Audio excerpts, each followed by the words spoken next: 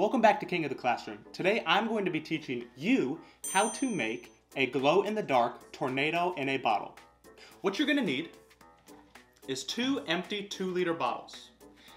Then you're going to need this special connector piece with a hole in the middle. I will leave a link down to these in the description. The first thing you're going to need to do is fill up one of these bottles two-thirds of the way up with water. Now with the power of YouTube, ta-da! Now, what you're going to do is you're going to take this connector piece and you're going to attach it to the top of that 2 liter bottle you just filled up. Then you're going to take the other 2 liter bottle and screw it into the top.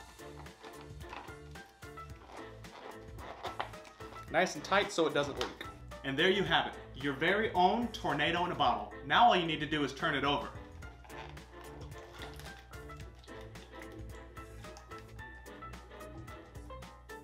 Well, that's not very impressive. So what you need to do is grab the base and grab the center and give it a little spin. What's going to occur is that twirling is going to allow the water to exit through the sides of the hole, leaving a space in the middle for the air to come up. So as the water is coming down, the air is coming up at the same exact time. And that's what creates the tornado.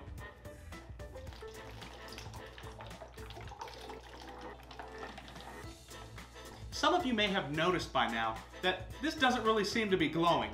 Well, for that, you've got to add my secret ingredients.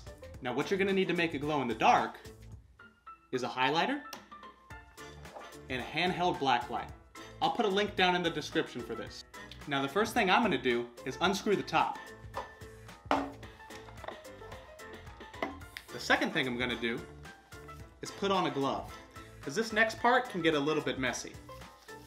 What you're gonna wanna do is grab the highlighter, take the back off, and on the inside, you're going to find this filament that holds the ink for the highlighter. What you're gonna do is hold it at the top, and now you're going to squeeze the ink down inside.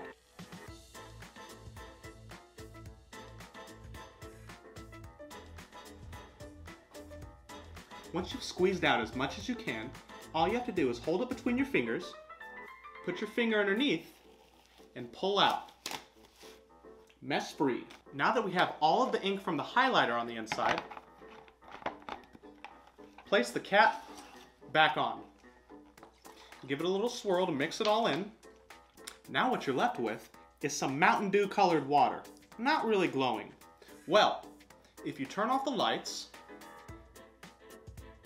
and turn on the black light, What's happening right now is the black light is allowing the ink from the highlighter to fluoresce. This is different from glow-in-the-dark.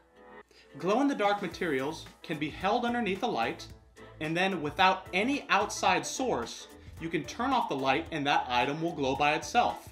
This highlighter ink will only glow underneath a black light. And it doesn't even glow technically. Technically the term is called fluorescing. Now we're just gonna give this a spin again.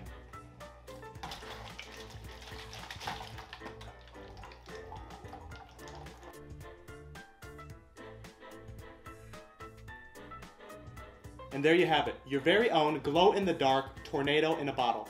I hope you enjoyed the video. Don't forget to subscribe. We'll see you next time.